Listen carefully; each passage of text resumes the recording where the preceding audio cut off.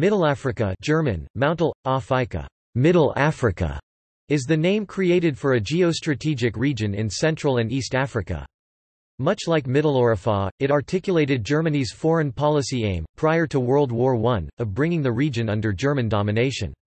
The difference being that Mittelafrika would presumably be an agglomeration of German colonies in Africa, while Mitteleuropa was conceptualized as a geostrategic buffer zone between Germany and Russia to be filled with puppet states.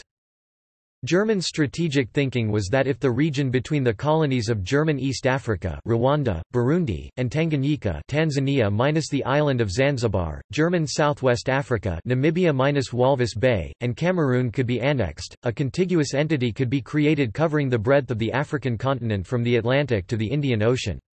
Given the richness in natural resources of the Congo Basin alone, this region would accrue considerable wealth to the colonizing power through the exploitation of natural resources, as well as contributing to another German aim of economic self-sufficiency. The concept dates back to the 1890s, when then Chancellor of Germany, Leo von Caprivi, gained the Caprivi Strip in the Heligoland-Zanzibar Treaty. This addition to German Southwest Africa attached the colony to the Zambezi River.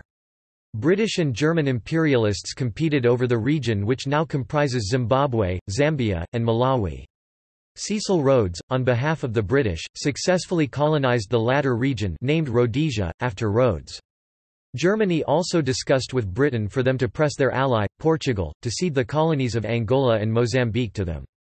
The British however, had preferential trade agreements with Portugal, who was a trusted ally, and though plans for an eventual partition of the Portuguese colonies were drawn, Britain would thus see its colonial position in Africa severely weakened in case they were applied, since the Germans could then effectively threaten their Cairo to Cape lines of communication.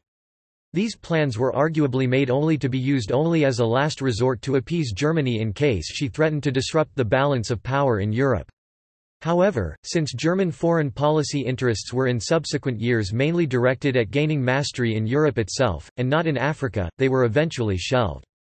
Indeed, as it is likely that German concepts of a «Mittelafrika» were designed to put pressure on Britain to tolerate growing German dominance in the European continent, and not the other way around. Colonial concessions would never placate the German Empire, as surely British politicians came to realize at the time.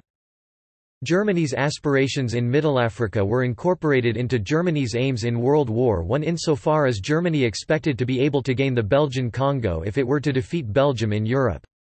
The full realization of Mittelafrika depended on a German victory in World War I in the European theatre, where Britain would be forced to negotiate and cede its colonies in Rhodesia to Germany when faced with a German-dominated Europe across the English Channel.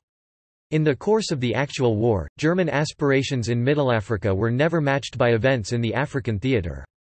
The German colonies were at very different levels of defense and troop strength when the war began in Europe, and were not in a position to fight a war due to a lack of material.